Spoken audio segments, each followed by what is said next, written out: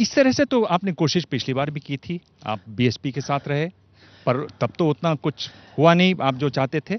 इस बार कैसे आपको उम्मीद है? क्योंकि जब बसपा के साथ समाजवादी पार्टी का अलायंस हुआ तो बीजेपी इस बात को कहने में कामयाब हो गई कि ये अलायंस कुछ लोगों का है। अच्छा। कुछ जातियों का अलायंस है ये बड़ा अलायंस नहीं है। इसीलिए मेरी कोशिश रही कि जो जाति के नेता हैं और जिनके पास संगठन है या क्षेत्रीय स्तर पे काम कर रहे हैं तो उनको साथ लाया जाए। और अगर हमें छोटे दल भी मिले, जिनका बहुत बड़ा संगठन नहीं है, लेकिन वो जनता के बीच में लगातार काम करें मान लीजिए उदाहरण के लिए गढ़वाना पार्टी थी, गौडवाना पार्टी थी, उनका बहुत संगठन नहीं है।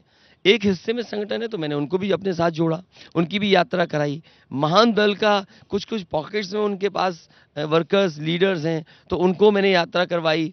इसके साथ साथ ओम प्रकाश राजभर जी का क्योंकि राजभर समाज का वोट है वो एक हिस्से में है। चौहान संजय चौहान है डॉक्टर उनका एक हिस्से में वोट है तो उन सबको साथ ला करके कोशिश की कि हर समाज की लीडरशिप समाजवादी पार्टी में दिखाई दे। जी हाँ। आपको क्या लगता है कि राजभर जी जो साथ जुड़े हैं उसका असर दिखाई देगा इस बार? नहीं क्योंकि ओम प्रकाश राजभर जी के आने के बाद राम अचल राजभर जी के आने के बाद मैं कह सकता हूँ कि उत्तर प्रदेश में राजभर जो लीडरशिप थी वो पूरी समाजवादी पार्टी के साथ जुड़ गई।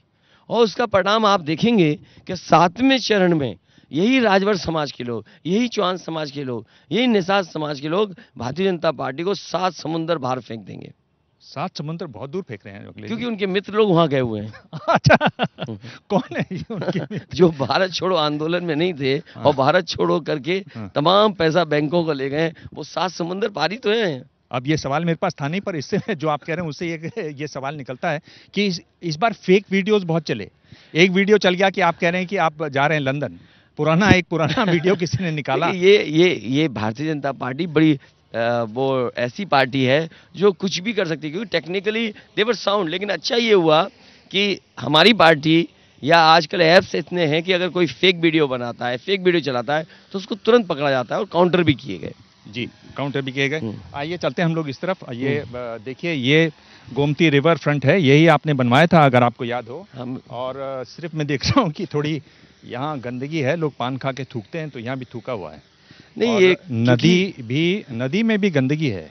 मैं ये चाहता था यहाँ भी बहुत ज़्यादा गंदगी मैं चाहता था कि एक एग्ज़ाम्पल दूँ कि हाँ शहर से नदी साफ़ बह सकती है। हाँ। मैं जब कभी बाहर जाता था और बाहर जाकर के मैं उन नदियों को देखता था तो मुझे लगता था कि हम क्यों नहीं अपनी नदी भी साफ़ कर सकते इसीलिए यहाँ पे आर्किटेक्ट और जो जानकार थे, उनको मैंने साथ लिया और ये रिवर फ्रंट क्रिएट किया। मैं समझता हूँ, ये काम अगर पूरा हो जाता, इसके अगर नाले रुक जाते, एक नाला जो दिखाई दे रहा सामने एक ये, और 900 मीटर केवल ये सरकार काम कर देती तो शायद देश की ये पहली नदी होती जो शहर के अंदर साफ़ बह रही होती।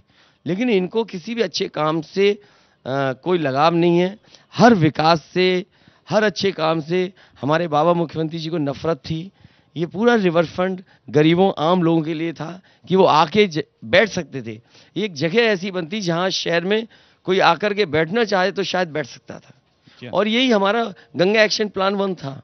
अगर आप माँ गंगा को साफ़ करना चाहते हो तो बिना गोमती के साफ़ किए हो, कैसे माँ गंगा साफ़ हो जाएँगी? क्योंकि अंतर्गत यही नदी सैदपुर में जाकर के गंगा से मिल जाती है।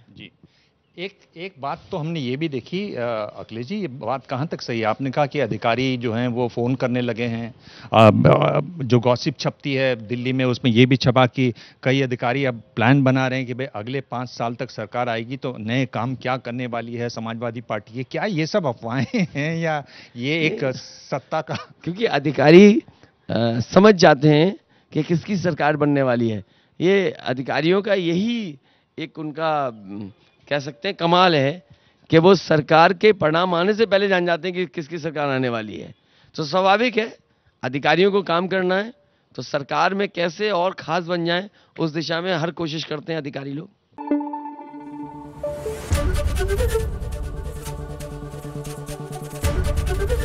एबीपी न्यूज़, आपको रखे आगे।